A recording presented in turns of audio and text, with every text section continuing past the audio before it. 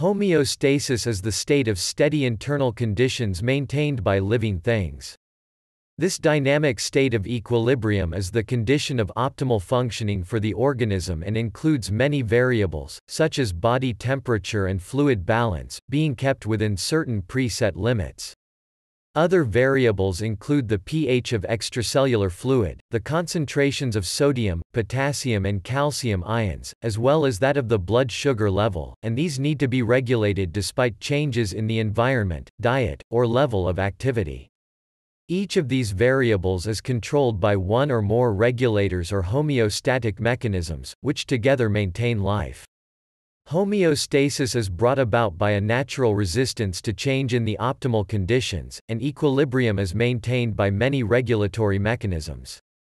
All homeostatic control mechanisms have at least three interdependent components for the variable being regulated, a receptor, a control center, and an effector. The receptor is the sensing component that monitors and responds to changes in the environment, either external or internal.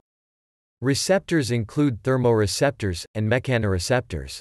Control centers include the respiratory center, and the renin-angiotensin system. An effector is the target acted on, to bring about the change back to the normal state. At the cellular level, receptors include nuclear receptors that bring about changes in gene expression through upregulation or downregulation, and act in negative feedback mechanisms.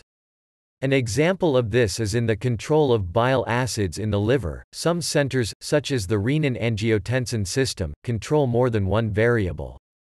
When the receptor senses a stimulus, it reacts by sending action potentials to a control center. The control center sets the maintenance range, the acceptable upper and lower limits, for the particular variable, such as temperature.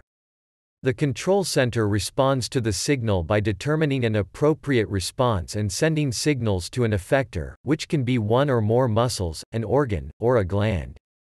When the signal is received and acted on, negative feedback is provided to the receptor that stops the need for further signaling.